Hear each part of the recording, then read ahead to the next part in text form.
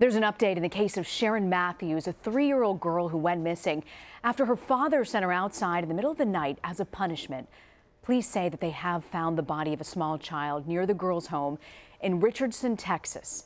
Mathews has been missing since October 7th, and police have not confirmed the body is hers.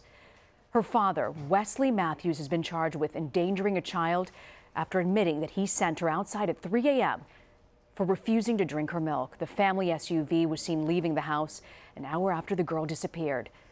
The family did not notify police until five hours after the girl went missing.